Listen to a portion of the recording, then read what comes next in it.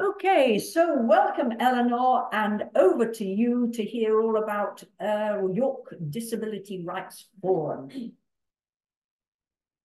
As they say, disability rights are human rights. The York Disability Rights Forum is a group of people who identify as disabled, the members, and supporters who do not identify as disabled, the allies. The objects of the group are to advance the human rights of disabled people, their families and carers in the York area, and to foster contact, mutual understanding and cooperation between people with a range of disabilities in York and the surrounding area.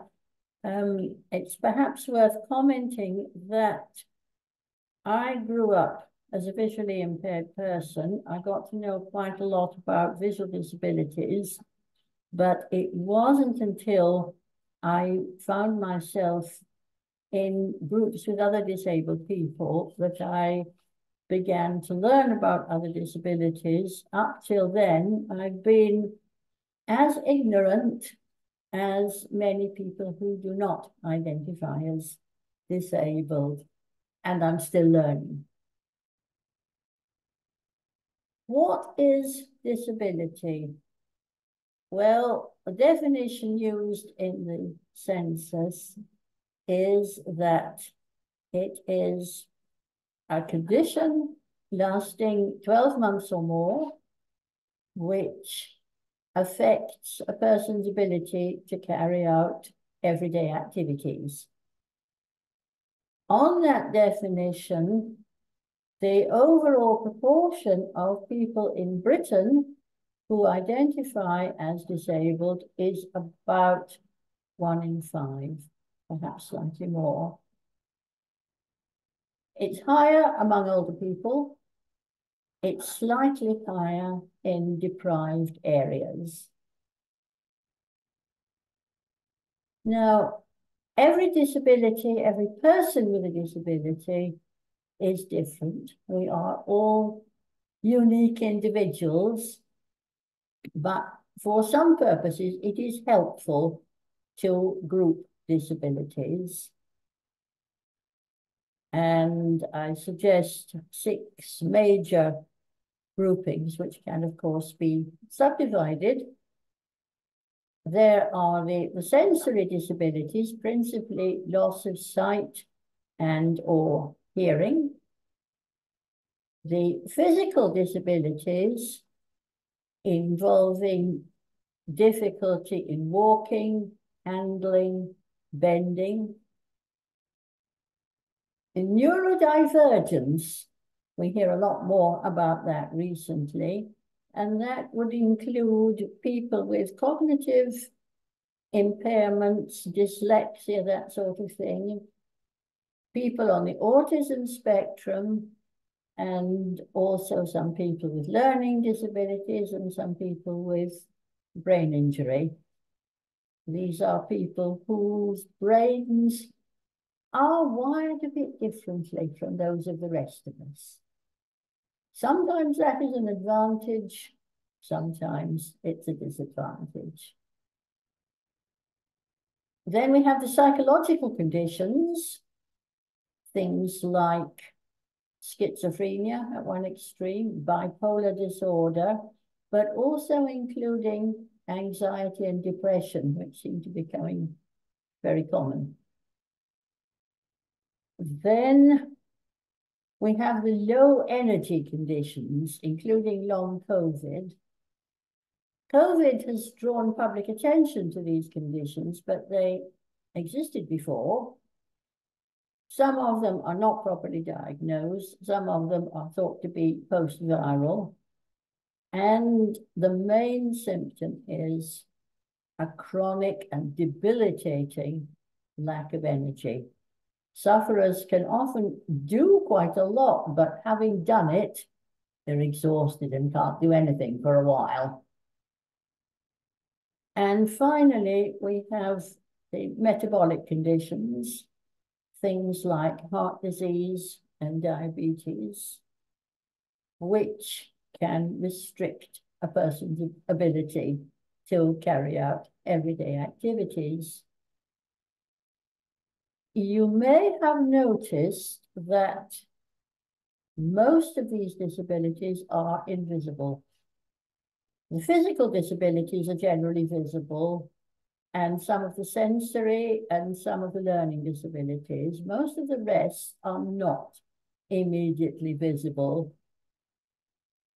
It's reckoned that something like 80% of disabled people having visible disabilities, which is something that the public is only just beginning to realize. It's also significant that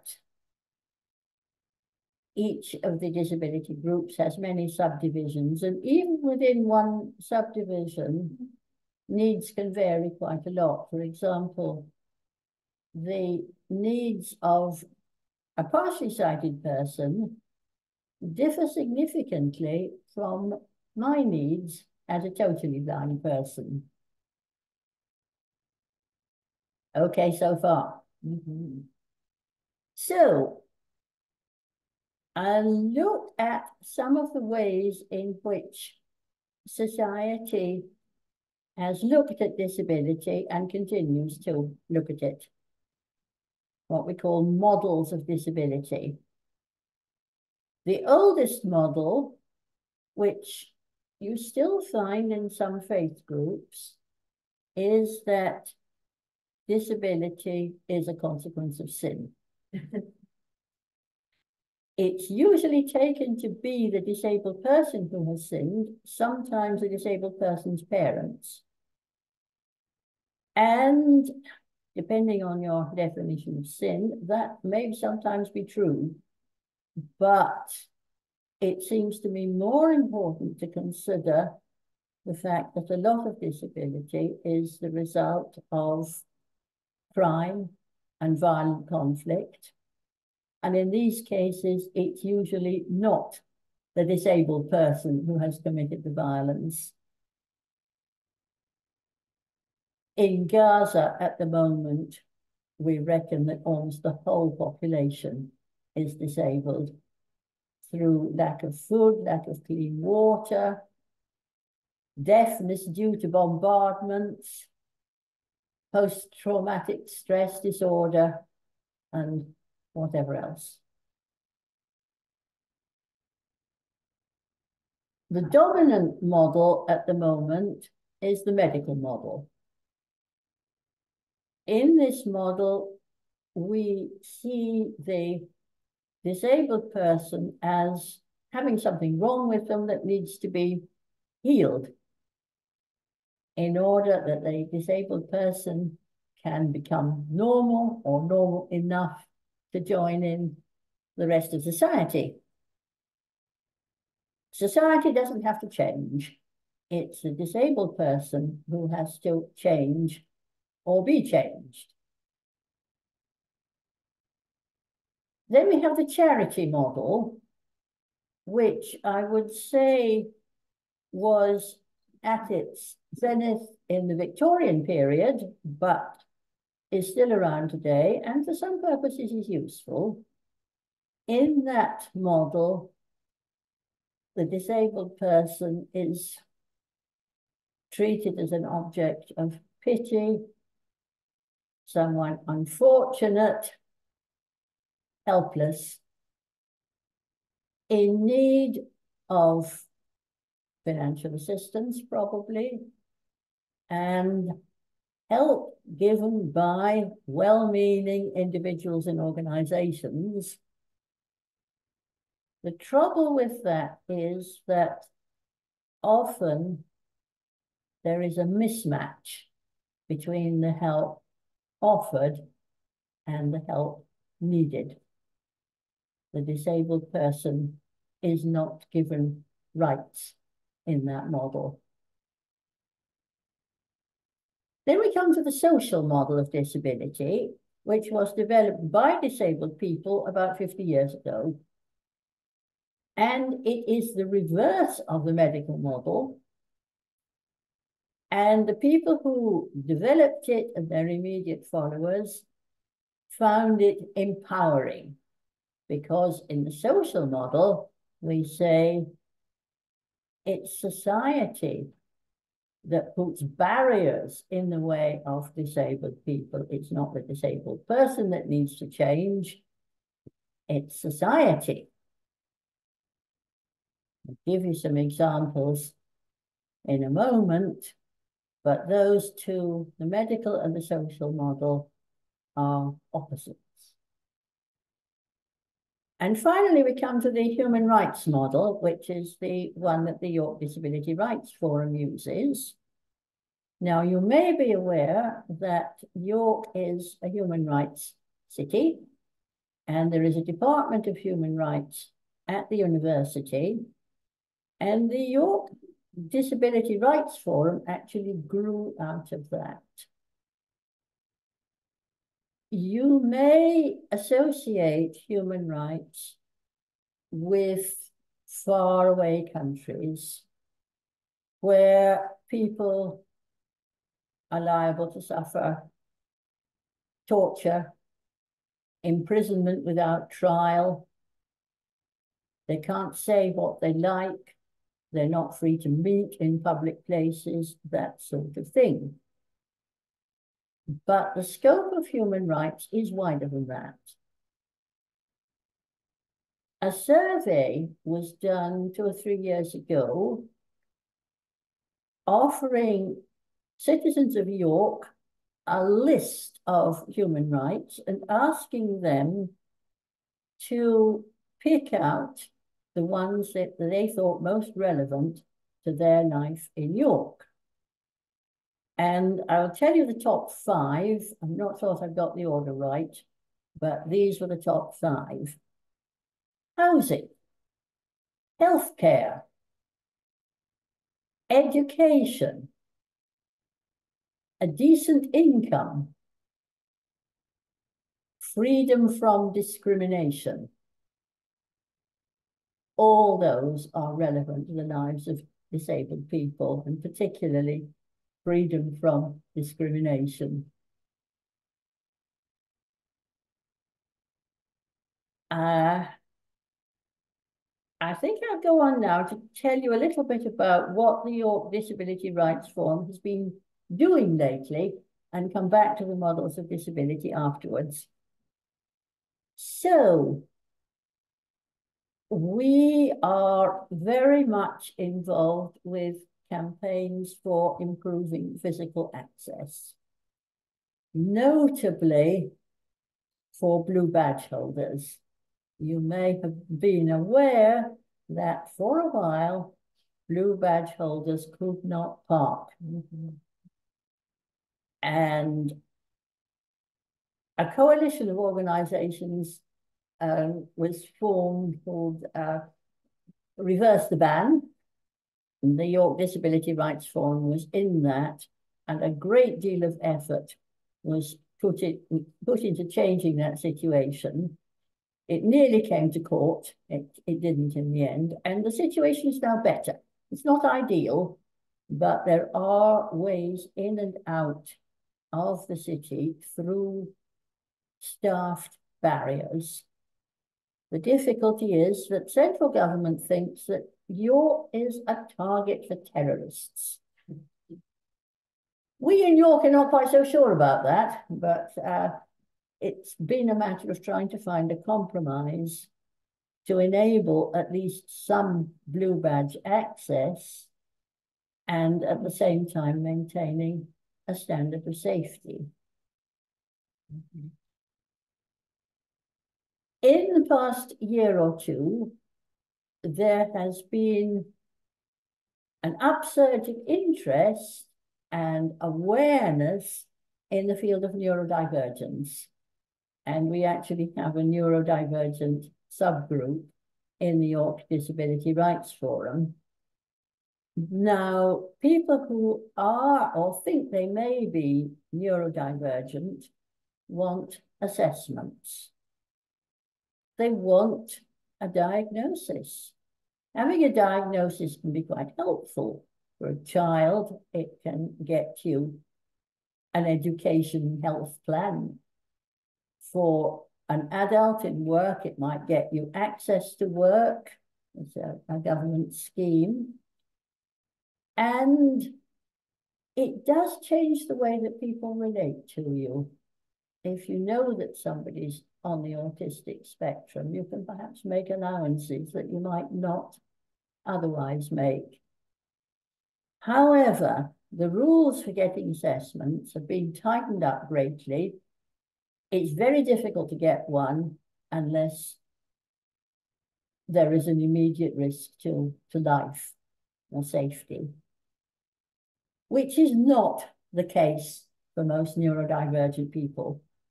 What they've been asked to do is to go online and use something called the Do-It Profiler, which some of them find difficult to use and which was in any case not designed for the purpose. People in the York Disability Rights Forum have been working very hard to try to change this, so far with little success. So effort is now being switched to supporting people during their very long waits for assessments. This is particularly important for parents of neurodivergent teenagers. Something that York Disability Rights Forum did last year, which was such a success that we're doing it again this year, is to run a Pride event. York Pride is great if you're able-bodied, but if you are seriously challenged by noise and crowds, or if you have certain mobility difficulties, it's not very accessible. And so York Disability Rights Forum has run, will run again this year, Quiet Pride at St John's University, where there will be, I believe, dance, yoga, workshops, various things a way of celebrating pride that is accessible to some of the disabled people who don't really fit in in uh, the, the major event. Another thing that we've been doing is working with North Yorkshire on disability hate crime, which is an unfortunate fact of life, particularly for people with physical disabilities and some learning disabilities. Visually impaired people don't get it very often, but they do get it sometimes. Most of the abuse is verbal, sometimes it's physical. And one of the things that can be done about it is to track it and improve mechanisms for reporting it which is now being done. Some students have brought out a report about how third-party organisations can more easily report disability hate crime.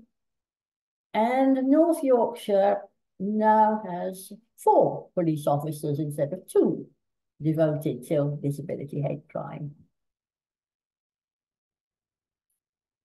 Right. I should say at this point that the Disability Rights Forum is always looking for more members and allies. Um, some of you may already be receiving their newsletter. I've seen some of their material quoted in yours. Mm -hmm. And for existing members and allies to become more involved either by joining subgroups such as the access group and the neurodivergent group, or indeed eventually joining the steering group. Allies don't normally have voting rights, but in every other way, they contribute in the same way as members. And in fact, we wouldn't be able to manage without them as well as we do. Right. Let me give you a couple of examples of medical versus social models of disability. A wheelchair user confronting a step. The medical model says he should have a prosthesis or he should have physiotherapy to make his legs stronger. The social model says there should be a ramp. A woman disabled by anxiety. The medical model says she should pull herself together or get something from her doctor. The social model says if her bus to work were more reliable and her boss didn't threaten to sack her every time she was late, she might not be quite so anxious. We believe that a lot of the recent rise in anxiety and depression is due to social factors. Now, those examples were pretty clear cut. Um, the scenarios that we're going to look at are less clear cut. There is scope for discussion. The medical model and social model are not mutually exclusive.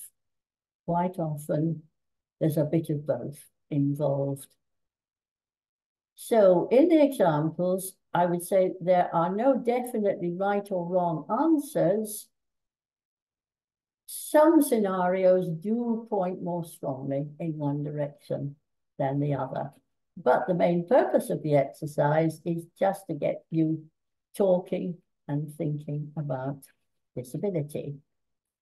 Um, I would suggest about 10 minutes. There are six scenarios. It doesn't matter if you don't get through them all. And since there are so few of us, I could join in the discussion if you think that would be helpful. So now I am have got the scenarios up and what I'll do is uh, add this to the recording by reading out the scenarios so that everybody can, if they can't read them, can actually hear them. So the first thing that happens, the first scenario for you to consider is that Mary fell on the step on her way back from having an injection in her eye. Secondly, shortly after starting work, Chris lost his hand in an industrial accident. He won compensation and was persuaded to go back to work to college. He now has an office job and a prosthetic hand that works quite well. Is that medical or social model? Thirdly, Anne has chronic bronchitis. The doctor says she might be better if her house were not so damp, but she can't afford to do much about that.